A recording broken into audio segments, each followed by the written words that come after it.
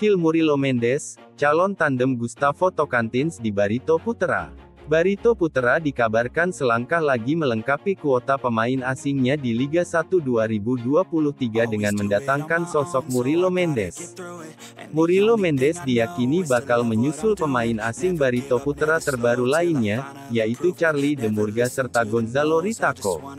Sebelum bergabungnya Murilo Mendes, Barito Putra telah berhasil mempertahankan tiga pemain asingnya di Liga 1 2022 lalu, yaitu Renan Alvis, Gustavo Tocantins, dan Mike Ott masih berseragam Barito Putra setidaknya hingga Liga 1 2023 berakhir. Kini, Barito Putra tengah dikaitkan dengan sosok Murilo Mendes, striker asal Brasil yang saat ini merumput di Liga Italia bersama Virtus Francavilla.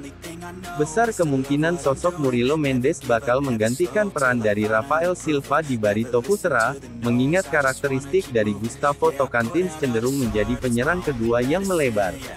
Lalu bagaimanakah kemampuan dari seorang Murilo Mendes tersebut yang berhasil mencuri perhatian dari Barito Putra? Terlebih sang pemain belum pernah merumput di Liga 1 Indonesia. Murilo Mendes memiliki kaki kanan yang kuat, sehingga tak jarang ia melesatkan tendangan keras yang berujung dengan gol. Sebagai seorang striker, Murilo Mendes juga punya penempatan yang bagus, sehingga tak jarang ia mampu memanfaatkan peluang menjadi gol. Tak hanya memiliki kekuatan, namun Murilo Mendes juga memiliki kecepatan yang apik serta visi yang brilian, sehingga tak jarang ia berhasil memberi asis untuk rekan-rekannya. Saking kerasnya tendangan dari Murilo Mendes, tak jarang striker asal Brasil tersebut melepaskan tendangan dari luar kotak penalti. Dengan pergerakan yang cair, Murilo Mendes bisa berada di mana saja saat melakukan penyerangan. Secara keseluruhan, Murilo Mendes bakal menjadi tambahan amunisi yang cukup berharga bagi Barito Putra yang kabarnya berhasil mendatangkannya di Liga 1 2023 ini. Menarik untuk dinantikan bagaimana kiprah dari Murilo Mendes di Liga 1 2023 bersama Barito Putra kelak. Melirik dari Transfermarkt, Murilo Mendes merupakan striker jebolan timnas U17 Brasil yang sempat mengawali kariernya di Liga Portugal sebelum merumput di Liga Italia. Performa terbaik dari Murilo Mendes adalah saat membela US Livorno di Liga Italia, di mana ia mencetak 27 gol dan 12 assist dari 146 pertandingan.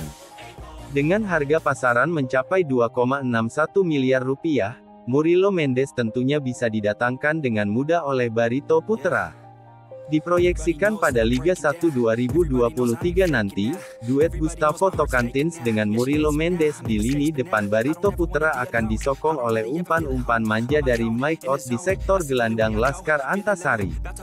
Menarik untuk dinantikan kapan peresmian dari Murilo Mendes oleh Barito Putra di Liga 1 2020.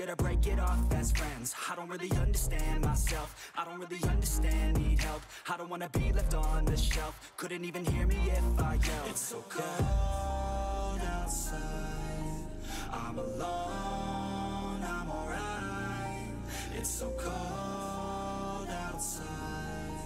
I'm alone,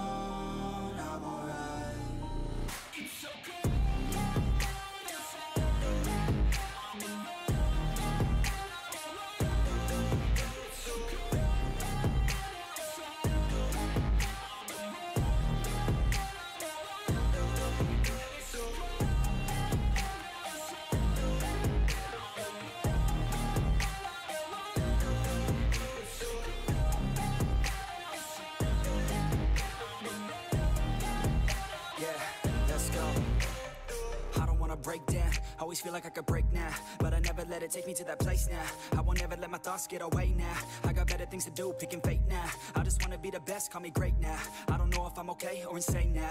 I remember better days on the playground Hoping I can find my way to Even when I'm feeling down, I fight Even when I don't know what is right. I'ma pick a side, and I'ma take pride. I will decide my fate and I Will never let them tell me who I am. If you try to shake me, I'll be damned. Planet on the ground is where I stand. Never give up, that was always the plan. It's so cold outside.